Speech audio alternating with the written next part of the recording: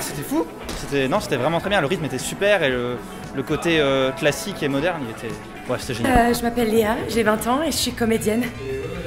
Être ou ne pas être, telle est la Une question. revisite intelligente de Molière et euh, avec de, de l'humour et, beau- et beaucoup d'intelligence. Mais je sais chanter aussi.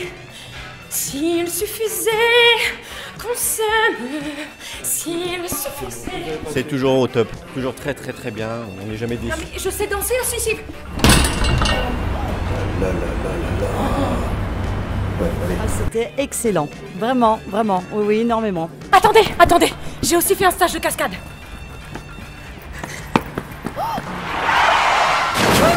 Oh la vache.